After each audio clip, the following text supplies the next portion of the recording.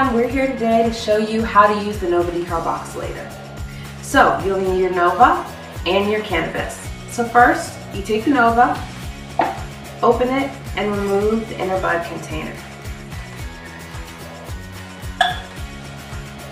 Then you take your cannabis, and the great thing about the Nova is you can just use a little bit or you can fill it up. Take a nice bud place it in here. Take the airtight cap,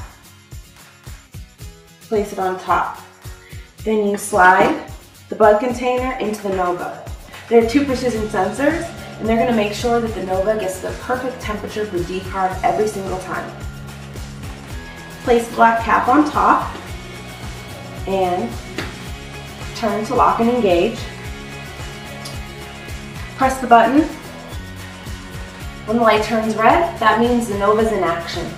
There's no need to wait and babysit the Nova. It's gonna stay cool to the touch. And about an hour and a half after the heating and cooling cycle, the light's gonna turn green again. So we're back and it's been about an hour and 15 minutes. The green light's on, telling us that the decarb cycle is complete.